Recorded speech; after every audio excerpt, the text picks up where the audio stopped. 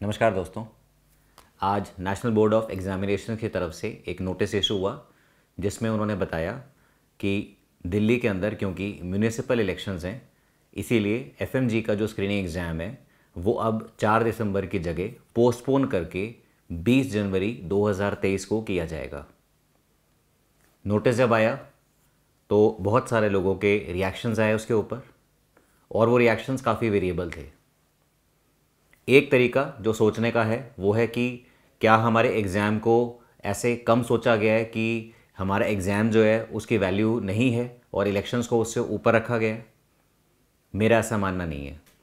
मैं ऐसा समझता हूँ कि एग्ज़ाम को कंडक्ट कराने के लिए, वो भी एक स्मूथ तरीके से प्रॉपर तरीके से कंडक्ट कराने के लिए काफ़ी सारी एडमिनिस्ट्रेटिव प्रोसेस होती है मशीनरी रिक्वायर्ड होती है गवर्नमेंट की रिसोर्सेज यूटिलाइज होते हैं।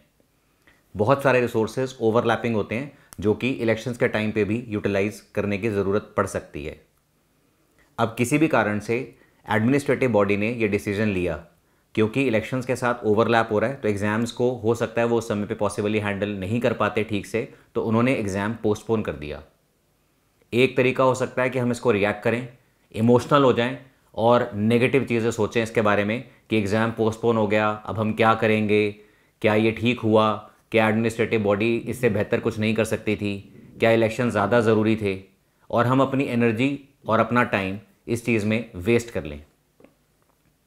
जब हम तैयारी कर रहे होते हैं तो कैसा भी स्टूडेंट हो, एक टॉपर से लेकर एक सब एवरेज स्टूडेंट तक, जब एग्ज़ाम की डेट पास आने लगती है और हमें इस चीज़ का एहसास होता है कि हमारी तैयारी जो है, वो शायद और बेहतर हो जाती अगर हमें थोड़ा सा एक्स्ट्रा टाइम मिल जाता। जैसे कि आपने देखा होगा, जब आप एग्ज़ाम के अंदर बैठते हो तो एग्ज़ाम में, जब एग्ज़ाम में अनाउंसमेंट होती है कि आखिरी के 30 मिनट्स बचे हैं only 30 minutes remaining students please wind up your answers तो पेन की स्पीड दुगनी हो जाती है।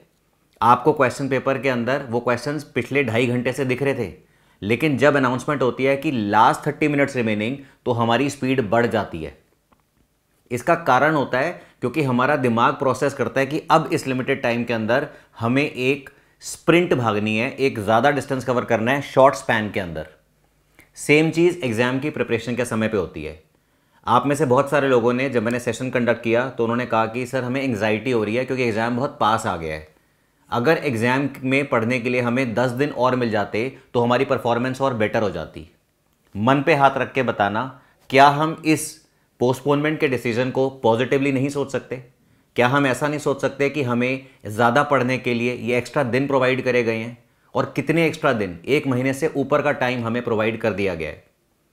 तो अगर हम इमोशनल ना हो, हम इस चीज़ के बारे में ज़्यादा ना सोचें कि डिसीज़न क्यों लिया गया एग्ज़ाम पोस्टपोन करने का, या फिर हम अथॉरिटीज़ के बारे में कुछ नेगेटिव चीज़ सोचें, उससे बेटर हम इस चीज़ पे फोकस करें कि हम इस एक्स्ट्रा टाइम को कैसे यूटिलाइज कर सकते हैं। पहली चीज़ आप कर सकते हैं कि आप जो आपके सब्जेक्ट्स जो थोड़े वीक रह गए थे या जो सब्जेक्ट्स अभी भी अनटच रह गए थे, उनके ऊपर ज़्यादा फोकस करें। मान लीजिए, हम एग्ज़ाम की अब बात करते हैं तो आज, यानी कि 15 नवंबर के दिन, जब हम बात कर रहे हैं, अब से लेकर एग्ज़ाम तक आपको लगभग पैंसठ दिन मिल गए हैं। तो ये जो दिन थे, आखिरी के 20 दिन जो आपने अपनी एग्ज़ाम की तैयारी के लिए रखे हुए थे, ये तो वहीं पर रहे। और जो आपको एक्स्ट्रा पैंतीस दिन मिले, मैं पर्सनली आपको रिकमेंड करूँगा कि आप उसमें से पंद्रह दिन उन सब्जेक्ट्स को दें जिनको आपने अभी तक इग्नोर कर रखा था। Trust me there are people who have message me that they had started the preparation just one month और two months back this is a screening exam I understand it is an exam which is relatively easy in comparison to the PG entrance exam however it is not an exam which is suppose to be taken so lightly cake walk थोड़ी ना यार। ये एक ऐसा exam है जो ये decide करेगा कि आप यहाँ पे प्रैक्टिस करने के लिए कॉम्पिटेंट हैं या नहीं हैं? तो अगर हम इस चीज़ को ध्यान से समझें तो हम इतनी चीज़ कर सकते हैं कि जो सब्जेक्ट्स हमारे, पहली चीज़ जो सब्जेक्ट्स हमारे तैयार हो चुके हैं, उनको हम अभी रख देते हैं साइड में। जो सब्जेक्ट्स हमारे अनटस्ड हैं, या हमारे वीक एरियाज़ हैं, उनके ऊपर इस समय एक्स्ट्रा टाइम के अंदर फोकस करें। मैंने आपको अपने लास्ट वीडियो के अंदर भी समझाया था, जहाँ पे मैंने ये क्वेश्चन रेज किया था, जो बहुत सारे लोगों ने मुझसे फेस टू फेस सेशन में पूछा है कि हम 10 सब्जेक्ट पढ़ के सर एग्ज़ाम क्लियर कर सकते हैं। तो मैंने आपको मैथमेटिकल कैलकुलेशन के साथ समझाया था, अगर आप 10 सब्जेक्ट्स बिल्कुल छोड़ के जाते हो तो आप 80 क्वेश्चन में से ज़ीरो स्कोर करोगे। और तब आपके ऊपर प्रेशर बहुत ज़्यादा बढ़ जाएगा, बाकी रिमेनिंग 210 या 220 क्वेश्चन में से 150 स्कोर करने के लिए। लेकिन अगर आप इसको दूसरे तरीके से हैंडल कर लो मतलब जो सब्जेक्ट्स आपके स्ट्रांग हैं, उसके अंदर आपका स्ट्राइक रेट बहुत अच्छा है। और जो सब्जेक्ट्स आपने बिल्कुल छोड़ रखे हैं, उसके आप कम से कम प्रीवियस ईयर क्वेश्चंस कर लो। तो अगर मैं मान के चलूँ कि आपके छह या सात सब्जेक्ट्स भी अभी तक अनटच थे तो कम से कम दो दो दिन एक सब्जेक्ट में भी हम इन्वेस्ट करेंगे तो आई एम श्योर कि उसमें हम at least thirty percent question तो रिकॉल कर पाएँगे। इतना भरोसा तो हमें खुद पे होना चाहिए।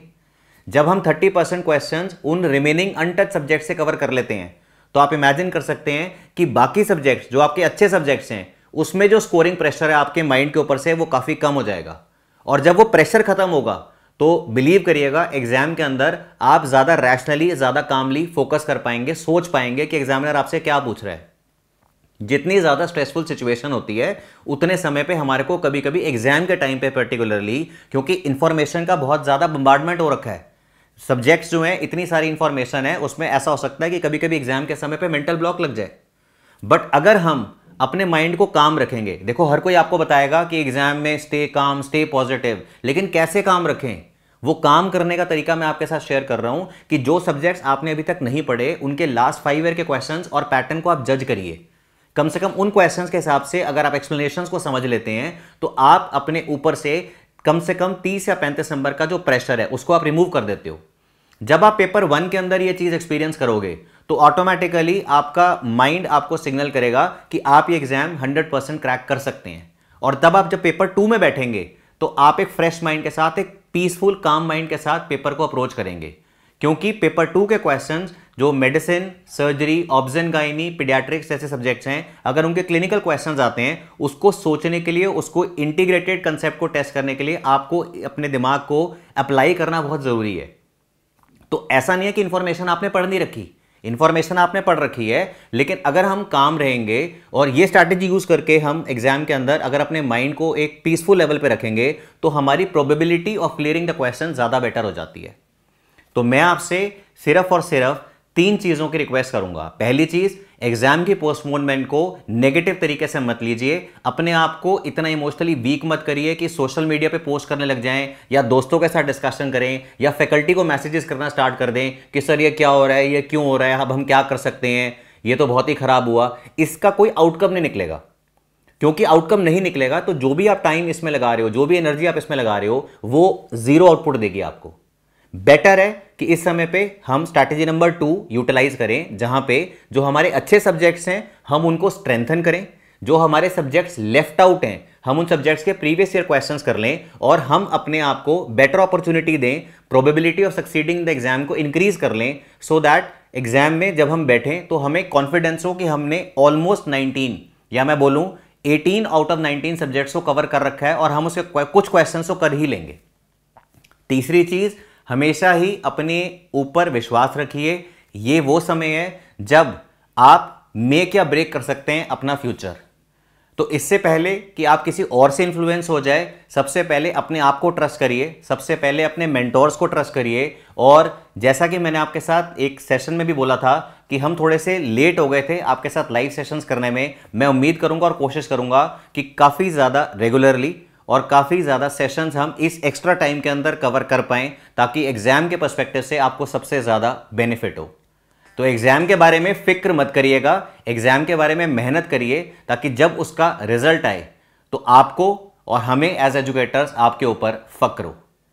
हमने सोच लिया है कि हमने एग्ज़ाम करना ही है, हर हाल में करना है, और इस जीतने की ज़िद को अपने अंदर आपने और ज़्यादा अच्छे तरीके से इंक्रीज करना है। तो अब ठान लिया है तो ठान लिया है, हम ये एग्ज़ाम अब करके ही रहेंगे और हम अपने आप को प्रूव करके ही मानेंगे। मेरी तरफ़ से बहुत बहुत शुभकामनाएँ।